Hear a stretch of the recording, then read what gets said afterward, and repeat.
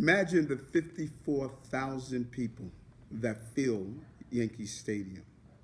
More than that number are homeless every day in our city.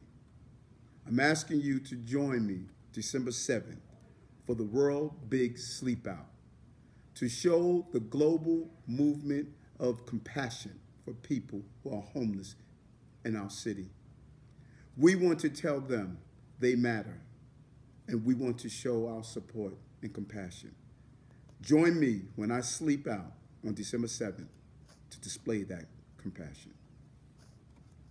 Think for a minute about what home means to you. To me, home means conversation. It's like the, the place where my family comes together and that's the most beautiful part of home.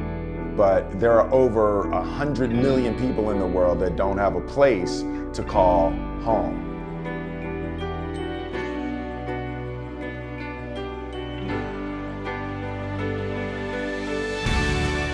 On December the 7th, 2019, we are hoping for 50,000 people to sleep out in the world's largest display of solidarity and support for homeless and displaced people. Major sleep out events will be happening in Trafalgar Square, in Times Square, and in 50 cities across the world.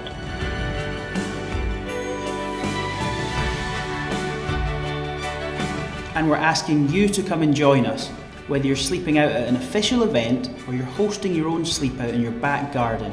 For one night, let's walk in the shoes of people that we would normally walk past. And let's try and raise $50 million to make a difference to people in your area and all around the world.